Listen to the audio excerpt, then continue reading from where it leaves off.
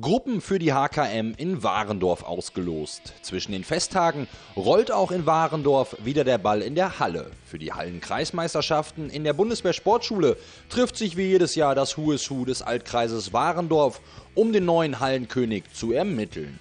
Spannung verspricht dabei vor allem die Gruppe A, in der Vorjahressieger VfL Sassenberg auf den Lokalrivalen SC Füchtdorf trifft.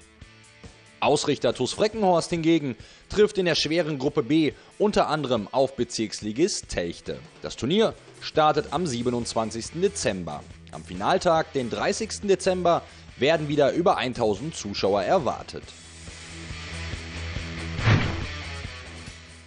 Burg Steinfurt übernimmt Tabellenspitze. Am toten Sonntag ruhte in der Bezirksliga 12 zwar der Ball, doch am Samstag standen dafür drei Nachholspieler auf dem Programm.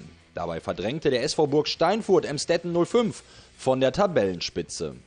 Die Elf von Trainer Dirk Bültbrunn bezwang Gastgeber Borussia Emstetten durch Tore von Nico Schmerling und Lars Kormann mit 2 zu 0. Auf Rang 4 schob sich vorwärts Wettringen. Die Wettringer führten Aufsteiger Germania Horstmar mit 7 zu 0 vor.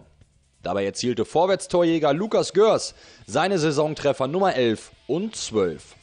Die Tabellennachbarn Amisia Rheine und Westfalia Kinderhaus trennten sich 2 zu 2 unentschieden. Es war bereits das achte Remis der Münsteraner in der laufenden Serie.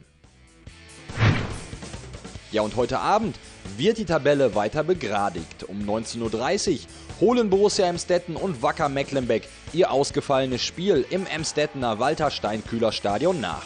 Kurios für diese Partie, das Spiel war ausgefallen, weil der Schiedsrichter nicht erschienen war. Center TV zeigt eine Zusammenfassung der Partie in der morgigen Sportsendung. Einen aktuellen Spielbericht finden Sie heute Abend schon auf heimspiel-online.de.